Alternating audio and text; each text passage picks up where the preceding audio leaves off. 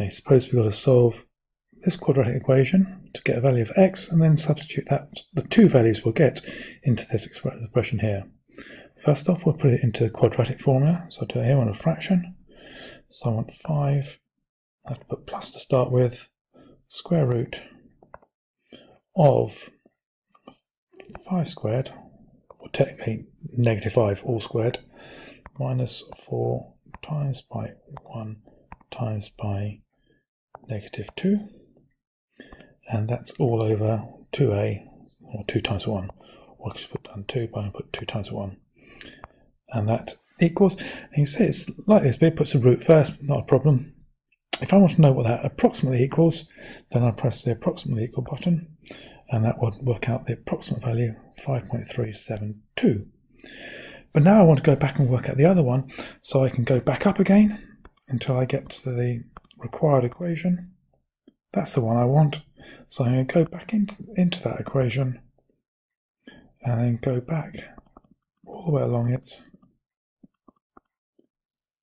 Uh, until I get to the it's better on a real calculator. The emulator it's a little bit more flaky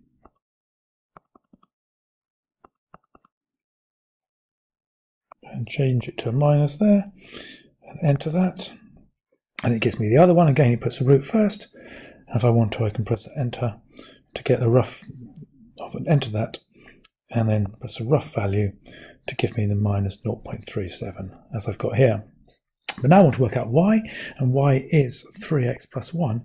That's about like, so I can just put down now 3 times, so 3 times, and I can go back to my previous value. I can go back and up and up until I find the 5 plus root 33. I can see exactly what I'm doing, not that one.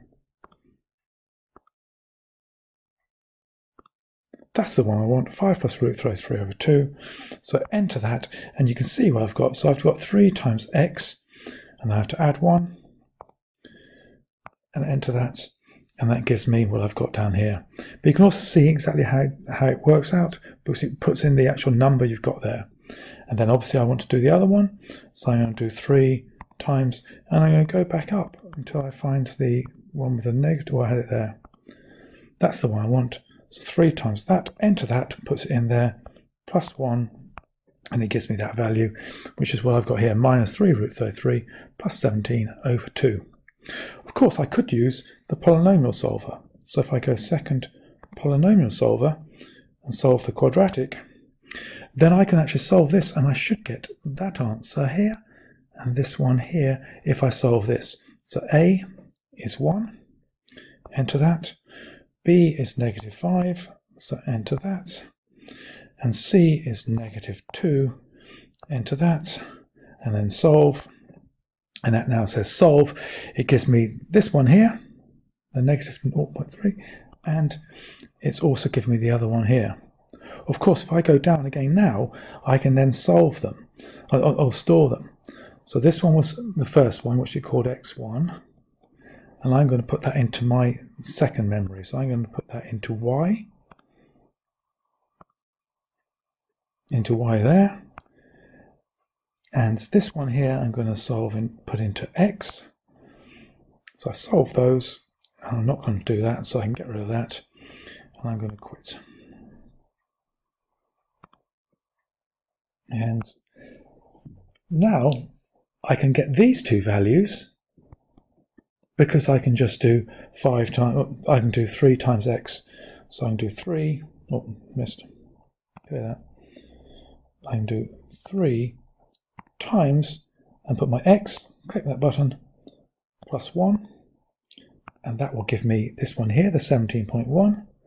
Or I could do 3 times and then choose y, by clicking that one, I click it twice, takes me to the Y, and enter that.